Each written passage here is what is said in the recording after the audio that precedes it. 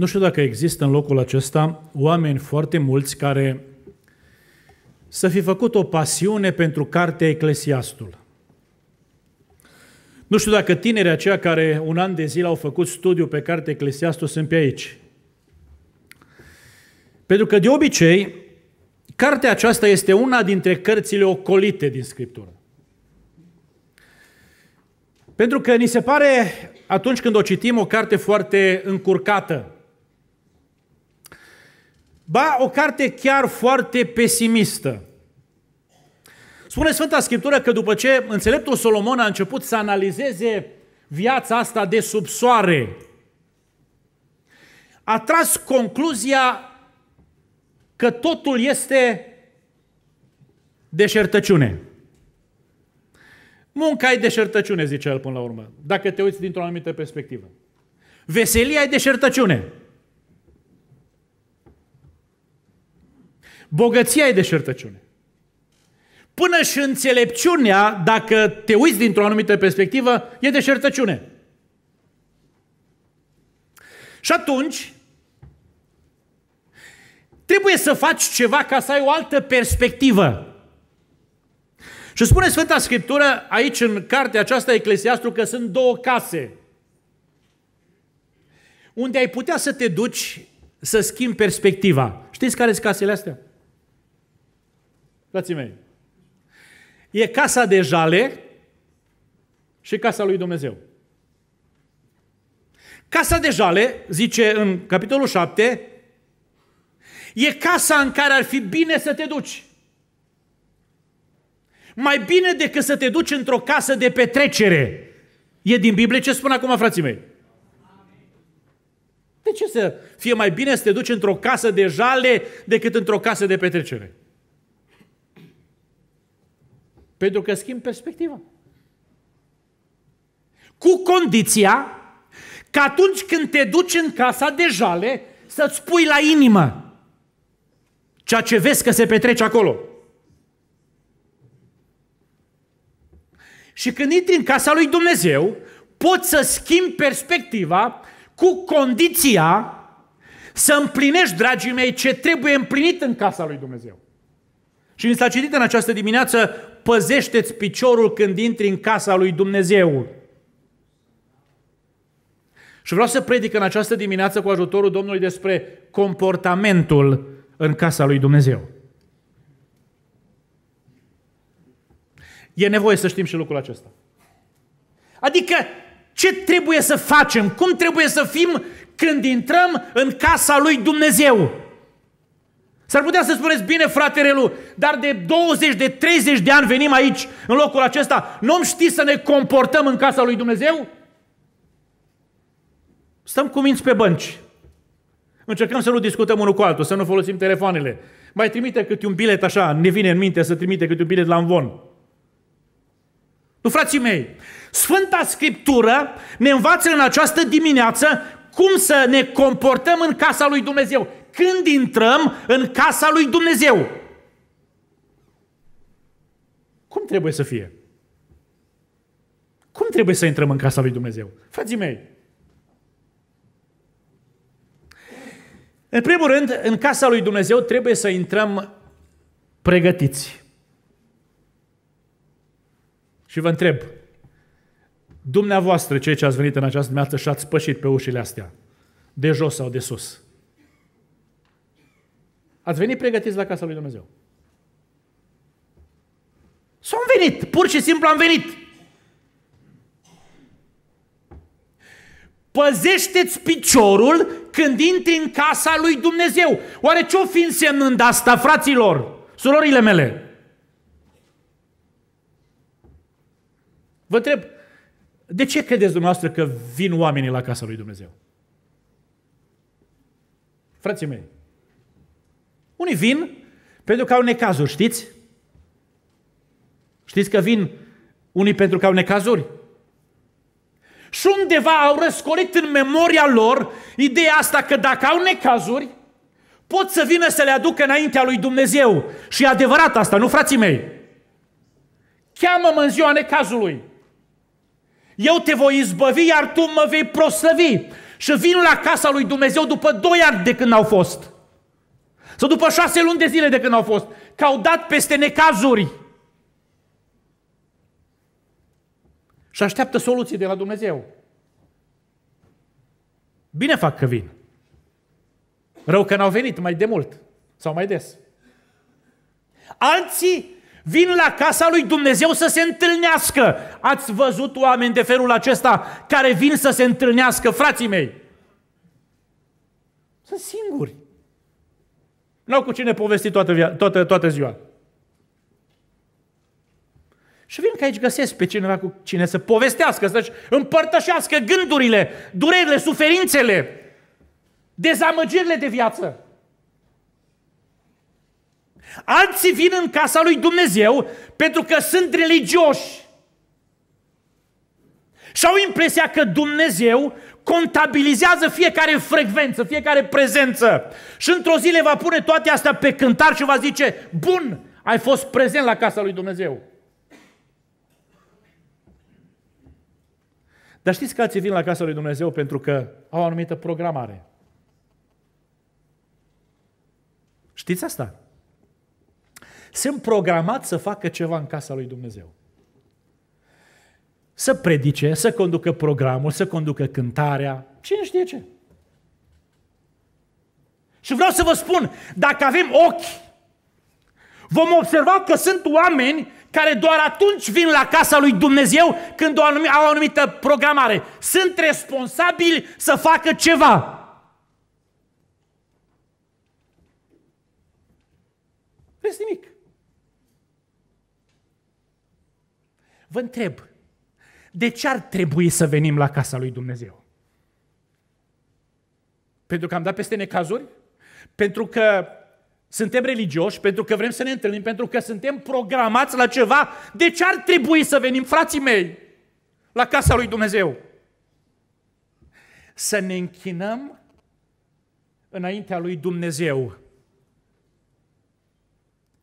Trebuie să facem asta. Merită Dumnezeu, așteaptă Dumnezeu închinarea noastră? Da, frații mei, și o închinare care să fie plăcută lui Dumnezeu, închinare în duș și adevăr, Dumnezeu să ne binecuvinteze. Ei, frații mei, dacă venim aici la casa lui Dumnezeu să ne închinăm, putem veni oricum? Sau trebuie pregătire? Și spun încă o dată, păzește-ți piciorul când intri în casa lui Dumnezeu. Ce-o fi însemnând asta? Să fim atenți să nu ne împiedicăm de prima treaptă sau de a doua treaptă sau de prag. Ce înseamnă asta? Frații mei, în contextul acesta, ă, umblarea sau piciorul care pășește, dragii mei, are de-a face cu altceva. Înțeleptul Solomon îl avea în vedere pe un om care tocmai a ajuns să intre în casa lui Dumnezeu. Și a vrut să facă atent cum intră în casa lui Dumnezeu. Pregătit sau nepregătit? Că umblarea noastră, felul în care pășim, nu neapărat în casa lui Dumnezeu doar, felul în care pășim, dragii mei, este oglinda sufletului nostru. Știți asta? Ați văzut vreodată cum umblă un om mândru? Ați văzut? Se citește pe mersul lui mândria? E adevărat sau nu e adevărat? Ați văzut vreodată cum umblă un om smerit? Se citește pe mersul lui umilința? Ați văzut vreodată cum umblă un om grăbit? Sau unul leneș? Ați văzut? E diferență. Pașii noștri, felul în care mergem, dragii mei, vorbește despre sufletul nostru, despre starea noastră spirituală. Și aici înțeleptul Solomon asta spunea, nu uită-te la prag, fii atent la prag. Ai grijă de sufletul tău când intri în casa lui Dumnezeu. Cum ții? Cât de pregătit e? Pentru că trebuie să te întâlnești cu Dumnezeul cerului și al pământului. Nu cu oricine. Cu cel care, care este din veșnicie în veșnicie Dumnezeu. Cu cel în fața căruia ar trebui să tremuri și să te temi de el, cum se predica mai înainte. Cu acela pe care ar trebui să-l respectăm, dragii mei. Pricepeți solemnitatea acestui moment? Dragii mei, pricepeți? Stăm aici, în fața Dumnezeului de care ne-am bătut joc ieri. Pricepeți solemnitatea momentului? Dumnezeului pe care l-am ignorat ieri, a cărui porunci le-am călcat în picioarea la altă ieri. În fața acestui Dumnezeu stăm. Credeți că ar trebui să venim cu inima pregătită înainte acestui Dumnezeu? Cel puțin pregătită să se pocăiască. Pentru ce a fost ieri, ce a fost alaltă ieri, ce a fost zilele trecute și să stăm înaintea lui Dumnezeu cum a stat atunci în templu vameșul acela care a zis nici măcar privirea nu, ridic, nu încerca să o ridice, n-avea îndrăzneală să o ridice, ci zicea, ai milă de mine, păcătosul. Omul acela a venit atent, pregătit să se pocăiască. Și vă întreb, a primit Dumnezeu pocăința lui când a venit pregătit să se pocăiască? Zicea Domnul Iisus Hristos, s-a întors acasă socotit, neprianit. Domne, noi care am venit în această dimineață aici, la casa ta, la casa lui Dumnezeu, la întâlnirea oamenilor lui Dumnezeu, cum ne vom întoarce acasă de aici? Vă preocupă ideea asta? Gândul ăsta vă preocupă? Cum? Se va întâmpla ceva, se va schimba ceva, se va produce ceva în ființa noastră. Am venit pregătiți cu așteptări mari de la Dumnezeu, gata să ne pocăim înaintea lui Dumnezeu, să ne ierte Dumnezeu toate păcatele, să mergem înnoiți din locul acesta, sau am venit să avem de unde merge. Cum îi frații mei? Când intri în casa lui Dumnezeu, trebuie să intri pregătit. Pe dinăuntru. Și asta să se vadă și pe din afară. În al doilea rând, când intri în casa lui Dumnezeu, trebuie să intri prudent. În ce sens prudent? Atent. Cu băgare de seamă. Atunci când vorbești despre prudență, te gândești că s-ar putea să existe niște pericole. Și ești foarte atent să le poți evita. Și când spun că trebuie să intru în casa lui Dumnezeu prudent, cu prudență, stau și mă întreb, Doamne, dar ce pericol or fi în casa lui Dumnezeu? Credeți că sunt pericole aici în locul acesta când stau înaintea lui Dumnezeu? Sau nu sunt?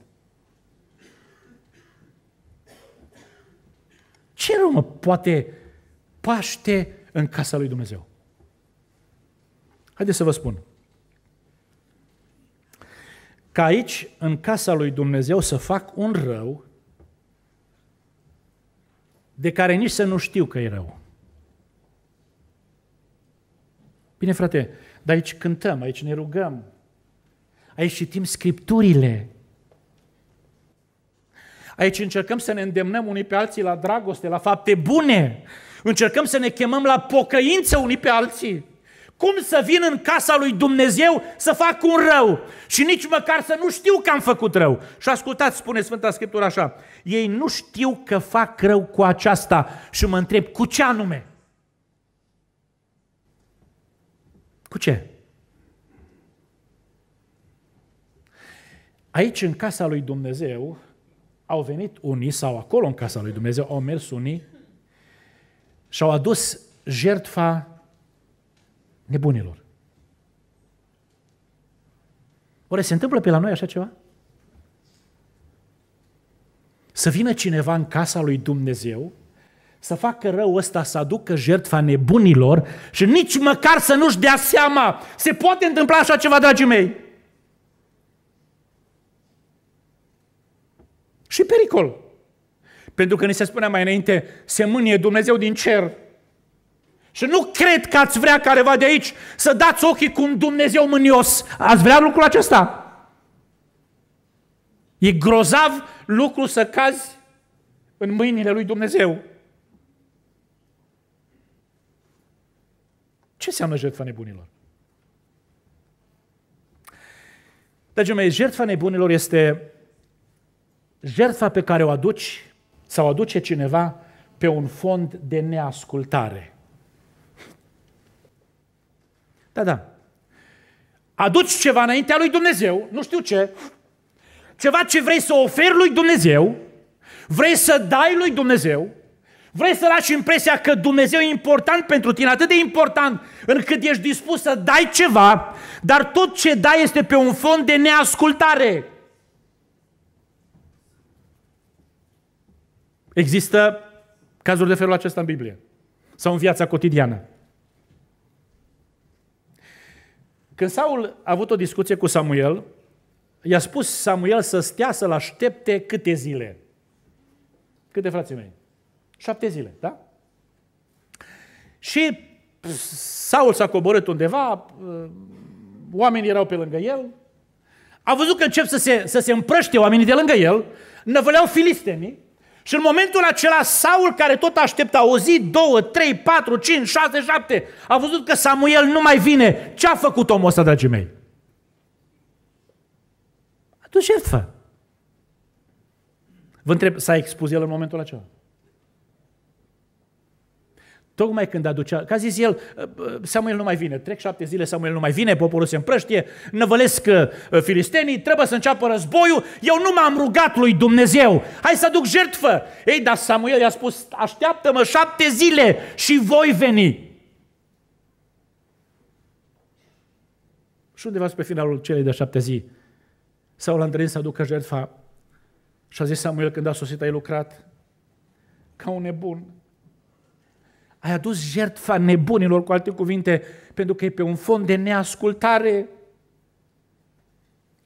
Același om care era expert, dragii mei, în a aduce jertfe prin, uh, pe un fond de neascultare, când Dumnezeu a poruncit să meargă să se bată cu Amalek, să nimicească tot ce ține de Amalek, spuneți vă da Scriptura, s-a dus, s-a întors cu pradă de război însemnată. Și a ieșit Samuel înainte și a zis Saul plin de sine, am păzit cuvântul Domnului. Bine, bine, dar ce cu behăitul ăsta care se aude la coada oștirii? Și a zis Samuel, poporul a păstrat asta pentru ca să... Ă, Saul a zis, poporul a păstrat asta pentru ca să aducă jertfă lui Dumnezeu din oile cele mai bune din prada de război. Și a zis Samuel către Saul, îi plac lui Dumnezeu mai mult jertfele, arderile de tot, decât ascultarea. E o jertfă pe un fond de neascultare. Dumnezeu nu primește. Fii prudent când vii în casa lui Dumnezeu și te grăbești să aduci ceva. E cumva pe un fond de neascultare? Te expui, ești în pericol.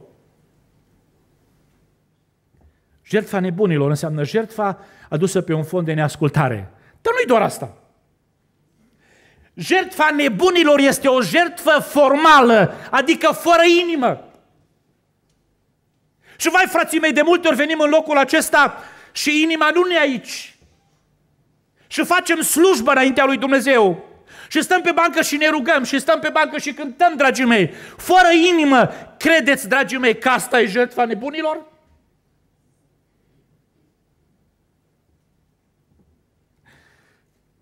În cartea profetului Ezechiel, mi se pare, la capitolul 33, spune cuvântul Domnului, poporul ăsta vine la tine, ca și popor al meu. Și ascultă. Dar cu gura vorbesc dulce, dulce de tot. Dar inima lor e îndreptată tot spre poftele lor. M-auziți, frații mei? Inima nu e acolo, le place să asculte și am venit, dragii mei, șase duminici la rând să ascultăm Evanghelia și am rămas încântați poate de Evanghelie. Și vorbim apreciativ poate despre o predică sau despre altă predică. Și inima unde e? unde e inima? Că dacă, dragii mei, facem când venim aici lucruri care se fac în casa lui Dumnezeu, fără să fie inima aici, aducem o jertfă nepotrivită înaintea lui Dumnezeu, una care, care îl mânie pe Dumnezeu. Când poporul acesta se apropie de mine, spune în cartea profetului Isaia la capitolul 29, Se apropie cu gura, cu buzele. Inima e departe de mine. Deci, mei, când deschidem cartea asta să citim sau să învățăm, să predicăm cuvântul lui Dumnezeu, o facem ca să ne putem oglindi viața. Să învățăm ce vrea Dumnezeu. Să învățăm astăzi, bună oară, în casa lui Dumnezeu trebuie să intru prudent. Să n-aduc o jertfă care să mă expună, care să-L mânie pe Dumnezeu. Fie că e pe fond de neascultare, fie că este doar de formă și inima nu e aici. Jertfa nebunilor, dragii mei, este și jertfa care urmărește promovarea de sine. Pe unde se întâlnește asta? Unde o găsiți? S-a dus fariseul la templu să aducă și el o jertfă. Și vă întreb, jertfa aceea pe care a adus-o fariseul când undeva într-un colț stătea vameșul, poate lăsați mai spre centru, a fost nebunie sau nu a fost nebunie? L-a mâniat pe Dumnezeu sau nu l-a mâniat pe Dumnezeu? Când tot ce a făcut el a fost să, să atragă atenția spre sine, spre, spre performanțele lui, ba până acolo încât să-L impresioneze pe Dumnezeu. Dumnezeule, eu nu sunt ca ceilalți oameni, sunt o categorie mai specială. Postesc, dau milostenie, fac zeciuia, dau zeciuială. Credeți că s-ar putea să vin în casa lui Dumnezeu să duci o jertfă care să însemne promovare de sine? Credeți? Nu vreau să descurajez astăzi, frații mei, implicarea. Nu asta vreau să fac. Vorba din, din, din Vechiul Testament să dea Domnul ca tot poporul să fie format din profeți, din proroci, oameni care să vorbească numele lui Dumnezeu. Nu vreau să descurajez implicarea. Dar vreau, dragii mei, să descurajez implicarea asta care, care poate atrage mânia lui Dumnezeu. Vreau să ne implicăm cu inima, cu inimă pregătită, dragii mei, cu ceva care să-L onoreze pe Dumnezeu, nu să ne promovăm pe noi înșine. Domnul să ne ferească de așa ceva. Pentru că cel care trebuie să fie înălțat este numai Domnul. Și acum și în veci de veci doar El trebuie să fie înălțat. Jertfa nebunilor este jertfa aceasta adusă pe un fond de neascultare, jertfa formală, jertfa care se promovează pe sine. Dar este și jertfa care nu produce schimbare. Frații mei, credeți că prezența noastră duminică dimineața aici este o jertfă? Credeți? Sau nu credeți? Să te scoli dimineață, să fii să fii la ora 9, să stai trei ceasuri aici, când alții sunt în altă parte. Își petrec vremea cine știe pe unde. Tu ai decis să stai în casa lui Dumnezeu, să pui trei ceasuri deoparte. E jertfă. Și vă întreb, jertfa asta de trei ceasuri, ce schimbare produce în viața noastră? Produce sau nu produce? Că dacă jertfa asta noastră de trei ceasuri nu produce nicio schimbare, frații mei, jertfa nebunilor.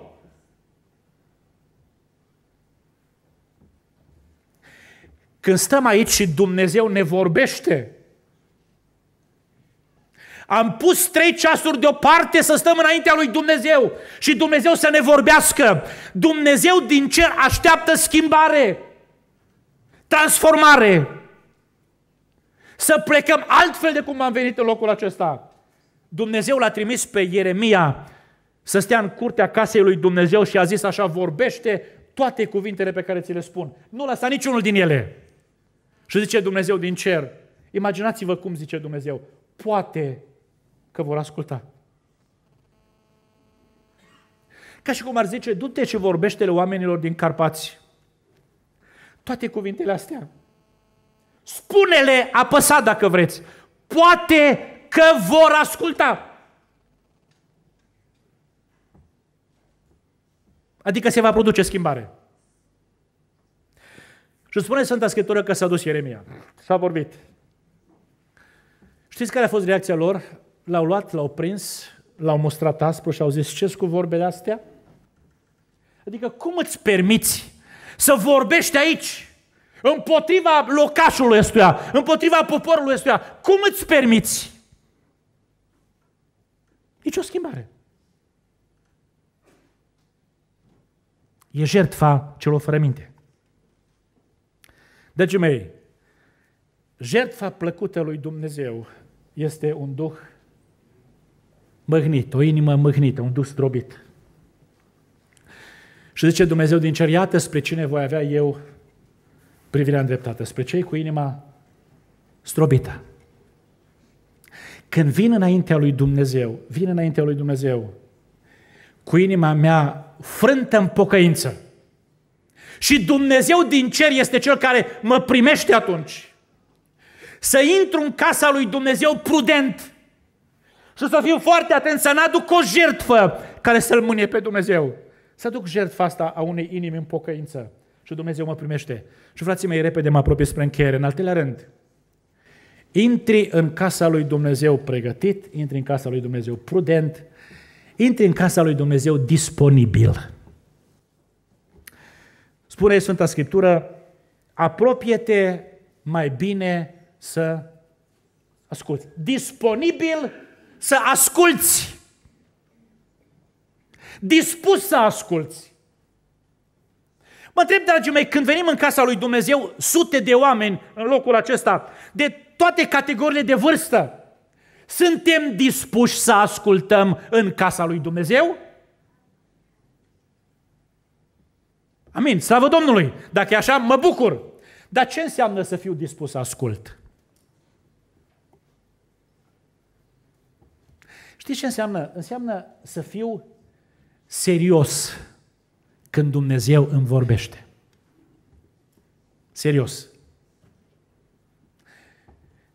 Adică să știu că ceea ce spune Dumnezeu pe mine mă vizează. Știți, toată Dumnezeu a, a spus o pildă și Petru a zis, bine, bine, dar pentru noi spui pilda asta? Sau pentru toți? Cui te adresezi? E când vii, intri în casa lui Dumnezeu dispus să asculți, ești foarte serios când stai pe bancă. Ești foarte serios și îți deschizi larg urechile. O altă traducere, dragii mei, în limba engleză, spune cam așa, când intri în casa lui Dumnezeu, deschide urechile și închide gura. Și cei care citesc în acea traducere, ă, în acea traducere englezească, așa citesc. Când intri în casa lui Dumnezeu, deschide urechile și închide gura. Adică fii serios, gata să asculți, că ce spune Dumnezeu pe tine te vizează sau pe mine mă vizează. Asta înseamnă să fiu dispus să ascult, să fiu serios. Să fiu dispus să ascult înseamnă să înregistrez cuvântul lui Dumnezeu. Mereu poate spun lucrul acesta în casa Domnului și nu știu de ce Dumnezeu mă face să spun asta. Stau și mă întreb după ce ieșim din locul acesta cât ține minte. Dragii mei, intru dispus să registrez. Am urmărit în vara asta ceva și m-am bucurat, dar mi-am dat seama și de natura noastră umană cum e ea. Uh, niște predici mai aplicative, mai practice, cum imediat, dragii mei, s-a văzut în viața unora de aici că au început să le aplice, le-au ținut minte. Două săptămâni. Și apoi gata. Bună oară! A fost o predică în locul acesta despre păcatul neparticipării la casa lui Dumnezeu și joia următoare și apoi duminică și iar joi am văzut la biserică oameni care nu au fost de luni de zile. Și apoi au dispărut din peisaj. Au uitat.